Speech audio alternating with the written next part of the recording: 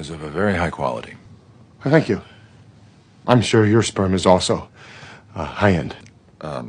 Certain complications arose, uh, which meant that for a period, um, Mr. Grabowski Levitt gave your sperm to all the women in his clientele.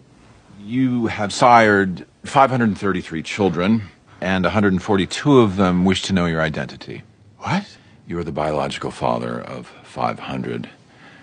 533 children. No, no, sorry, David Wozniak.